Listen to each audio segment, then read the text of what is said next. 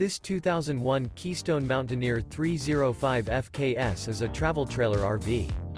It is located in Longs, North Myrtle Beach, South Carolina, 29568 and is offered for sale by Recreation USA. This used Keystone is 30 feet 0 inches in length. For more information and pricing on this unit, and to see all units available for sale by Recreation USA visit RVUSA.com.